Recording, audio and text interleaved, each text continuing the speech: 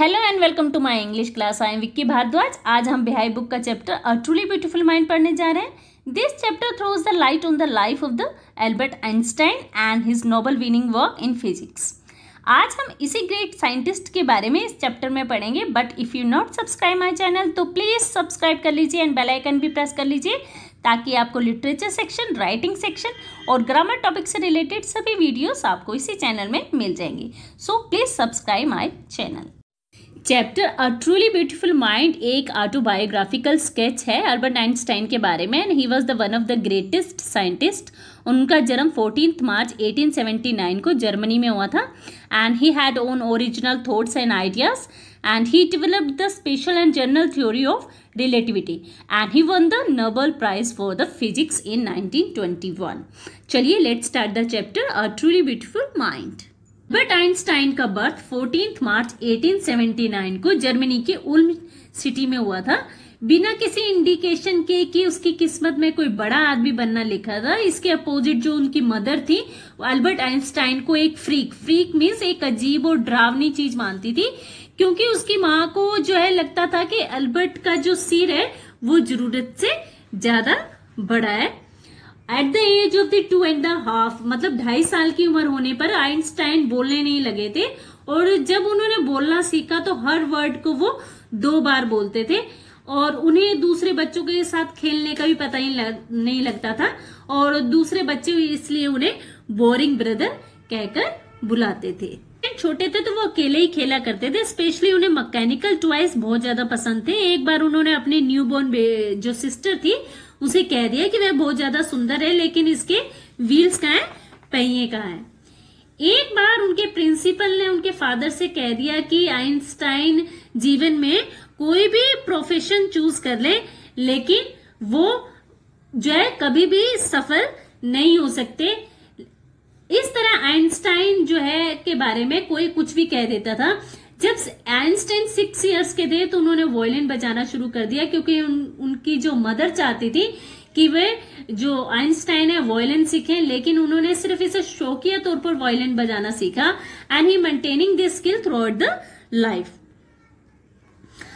Albert Einstein went to a high school in Munich पर जब वे 15 years के थे तो अब वो म्यूनिक में ही अपनी अपनी फैमिली के साथ रहते थे और he scored good marks in almost every subject but वो स्कूल के टाइट डिसिप्लिन से टाइट एटमोस्फेयर से उन्हें बहुत ज़्यादा हेट था।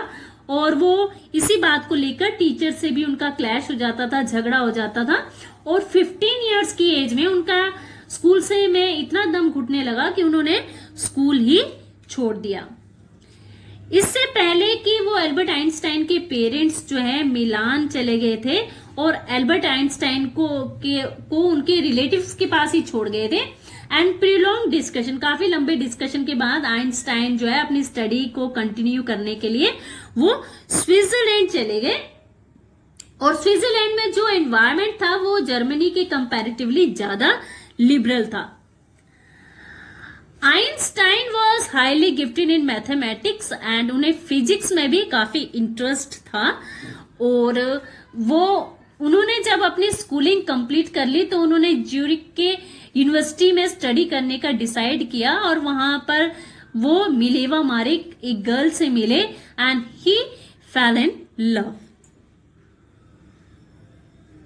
भी एक इंटेलिजेंट गर्ल थी। मिलेवा मारिक स्विट्जरलैंड इसलिए आई थी क्योंकि ज्यूरिक एक ऐसी यूनिवर्सिटी थी जहाँ पर वुमेन बहुत कम डिग्रीज लेती थी।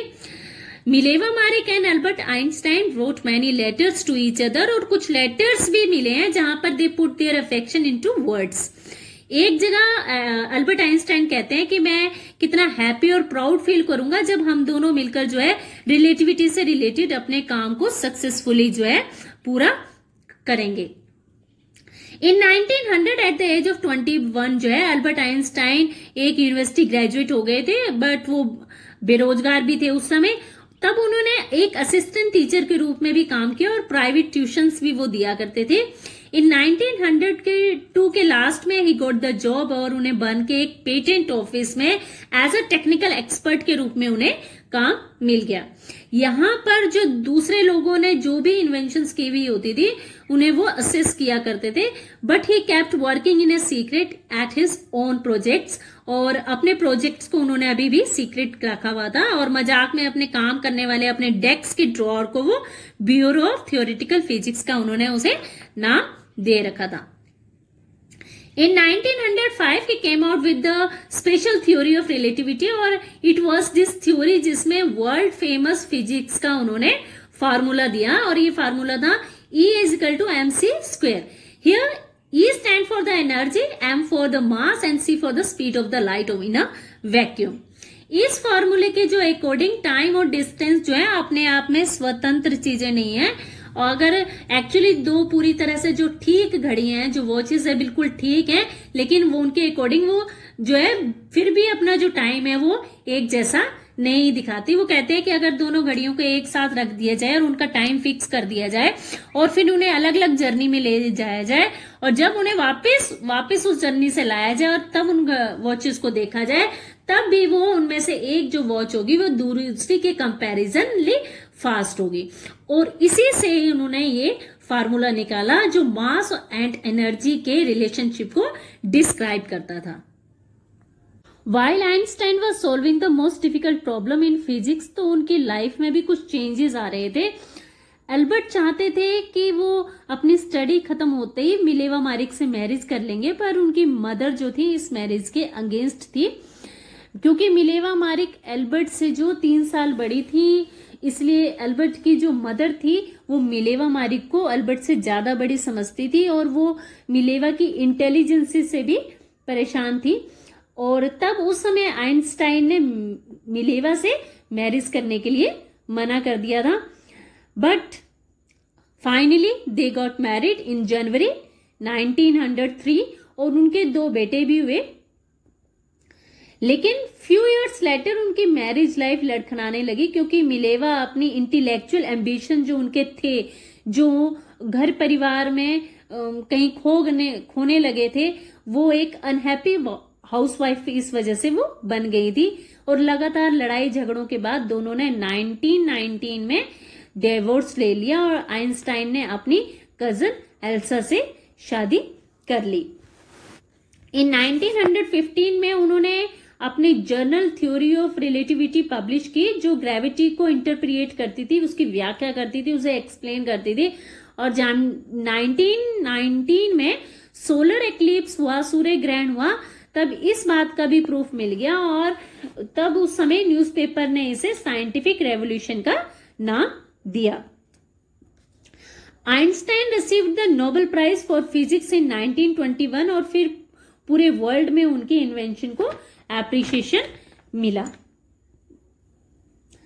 जब 1933 में Nazis came in power in Germany तो आइंस्टाइन जर्मनी को छोड़कर अमेरिका चले गए और इसके फाइव इयर्स के बाद बर्लिन में, जो कि जर्मनी में है, वहाँ न्यूक्लियर फ्यूजन फ्यूजन मीन्स विखंडन की डिस्कवरी हो गई और अब जो है फासिज्म से भागकर जो है कई लोग जो है अमेरिका आए थे, जैसे कि आइंस्टाइन भी आए थे। अब उन्हें इस बात का डर हो गया था कि नाइजीज अब एटम बॉम्ब बना लेंगे और उसका वो यूज़ भी कर लेंगे। एक कलीग के रिक्वेस्ट करने पर आइंस्टाइन ने 2 अगस्त 1939 को अमेरिका के प्रेसिडेंट फ्रैंकलिन डी रूजवेल्ट को एक लेटर लिखा, जिसमें उन्होंने ये वॉर्न किया कि अगर इस तरह का को कोई बॉम्ब किसी पोर्ट में, किसी बंदरगाह में एक्सप्लॉइड हुआ तो पूरा का पूरा पोर्ट जो है पूरा बंदरगाह को ये डिस्ट्रॉय कर देगा और साथ के साथ जितने भी सराउंडिंग टेरिटरीज होंगे वो भी डिस्ट्रॉय हो जाएँगे। इस तरह अमेरिका ने सीक्रेटली आइटम बम डेवलप कर लिया और इसे अगस्त 1945 में हिरोशिमा और नागासाकी जैसी सिटीज़ में उन्होंने गिरा दिया। जब इतना डिस्ट्रक्शन हुआ, विनाश हुआ तो आइंस्टाइन को बहुत ज़्यादा बुरा लगा और वो इस बार उन्होंने यूनाइटेड नेशन को पब्लिक की तरफ़ से एक लेटर लिखा। इसमें उन्होंने एक वर्ल्ड गवर्नमेंट बनाने का सजेशन दिया, पर इस अनलकीली इस लेटर को कोई भी इम्पोर्टेंस नहीं दी गई।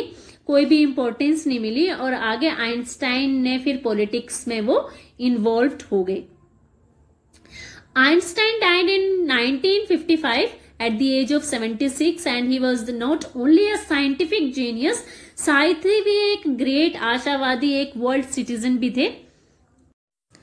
आज हमने chapter a truly beautiful mind के थ्रू एल्बर्ट आइंस्टाइन के बारे में और उनकी थ्योरीज के बारे में पढ़ा।